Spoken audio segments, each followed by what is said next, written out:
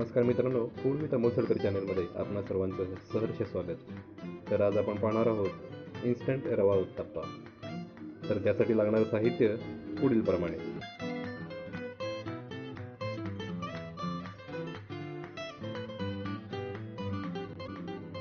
चार वाटी रवा एक वाटी दही आणि कोमट पाणी.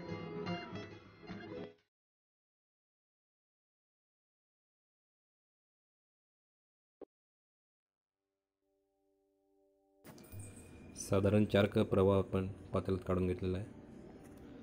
त्यामध्ये एक कप दही मिक्स करून घ्यायचं आहे छान असं. दही आणि रवा मिक्स झाल्यानंतर थोडं कोमट पाणी आपण त्यामध्ये घालायचं आहे. हे मिश्रण चांगलं घट्टसर असं आपण एकजीव करून घ्यायचं आहे.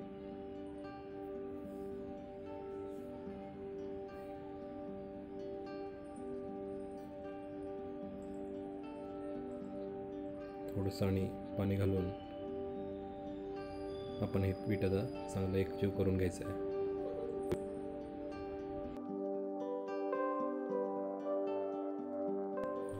तर हे मिश्रण आता चांगलं एकजीव झालेलं आहे. तर आपण साधारण अर्ध्या तासासाठी हे मिश्रण आता आपण झाकून ठेवूयात. साधारण अर्ध्या तासानंतर आता हे पीठ चांगलं फुलून आलेलं आहे. हे पीठ थोडंसं वेगळ्या भांड्यामध्ये काढून घेऊन आपण त्यामध्ये थोडंसं पाणी ॲड करून घ्यायचं आता. उत्तप्याला घट्टसर पीठ लागतं त्या प्रमाणात पाणी घालून हे पीठ तयार करून घ्यायचं आहे. तर आपल्याला हवं तसं पीठ आता मित्रांनो तयार झालेलं आहे.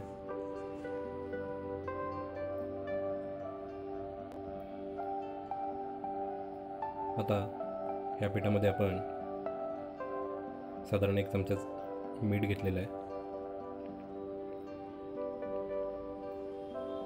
आणि एक चमचा तेल यामध्ये आपण सोडून घेणार आहे. आता हे मिश्रण पूर्णपणे एकजीव करून घ्यायचं आहे. आता हे पीठ उत्तप्पा तयार करण्यासाठी पूर्ण तयार आहे.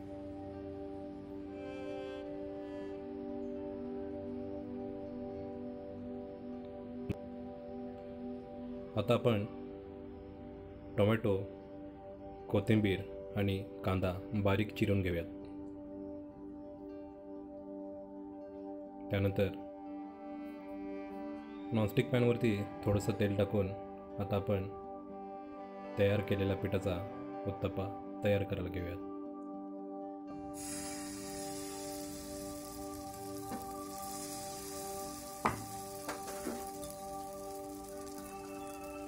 साधारण एक दोन चमचे पीठ आपण टाकलेलं आहे.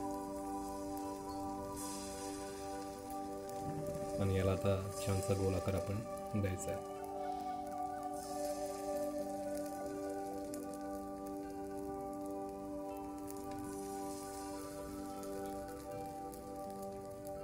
सुरुवातीला टाकताना थोडंसंच पीठ टाकून एक छोटा उत्तप्पा तयार करायचा प्रयत्न करा कारण सुरुवातीलाच खाली पीठ चिकटण्याचं धोका जास्त असतो.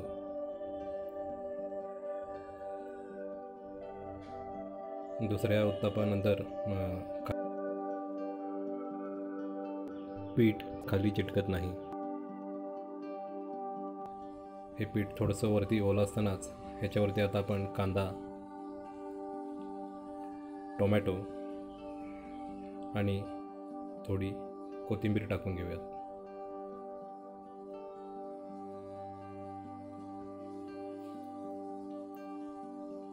एक चमच्याभर तेल आपण वरून सोडायचं आहे. आणि नंतर टाकलेलं हे जिन्नस थोडंसं चमच्यानं दाबून बसवायचं आहे. जेणेकरून उत्तप्पा उलटताना खाली ते पडणार नाही.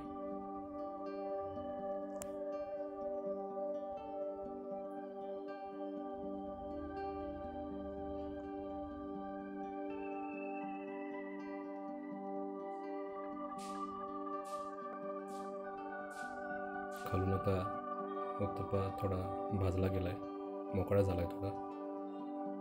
आता हे आपण पटवून घेऊयात.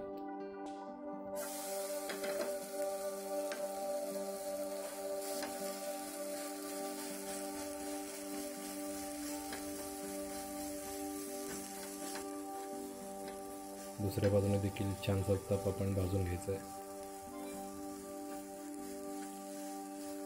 पीठ तयार करताना मित्रांनो तुम्ही बारीक चिरून मिरची देखील त्यामध्ये तुम्ही टाकू शकता.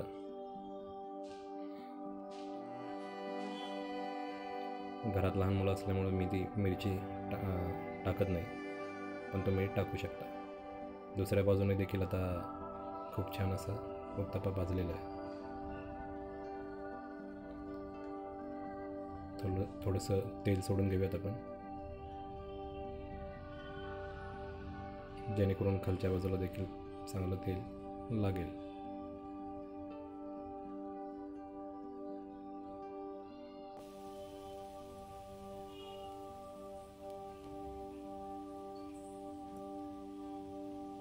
वा दुसऱ्या बाजूने देखील उत्तपा उत्तप्पा खूप छान भाजला गेला आहे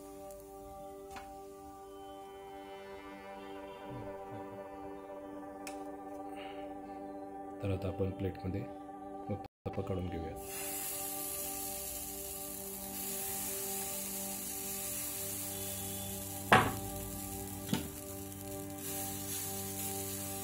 आता आपण दुसऱ्या उत्तप्पाची प्रिपरेशन करून घेऊया.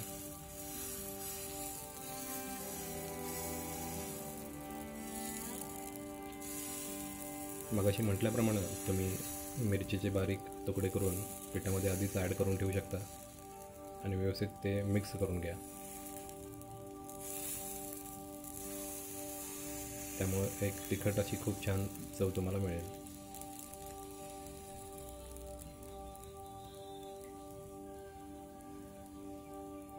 पारंपरिक पद्धतीमध्ये पीठ आंबवून घेतलं जातं. पण आपण जस्ट पंधरा ते तीस मिनटामध्ये आपण हा उत्तप्पा तयार करतो.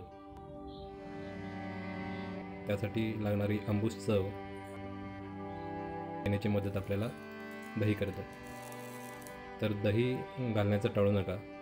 दही खूप महत्त्वाचं आहे या पिठामध्ये.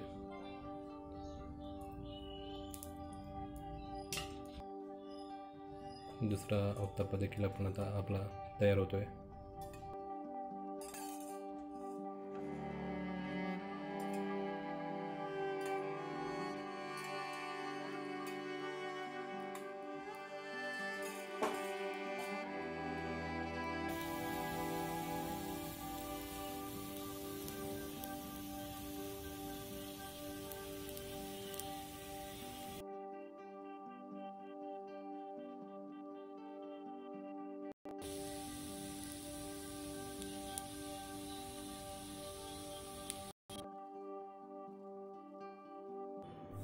एका बाजूने आता उत्तप्पा चांगला भाजला आहे आणि मोकळाही झाला आहे तर आता आपण दुसऱ्या बाजूने उत्तप्पा भाजून घेऊयात.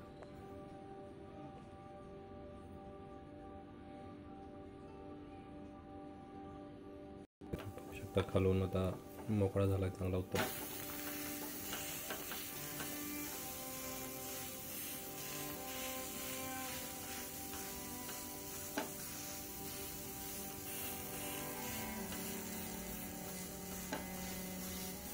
वरून असं अं, प्रेशर देऊन सर्व बाजूने आपल्याला उत्तापा छान भाजून घेता येतो.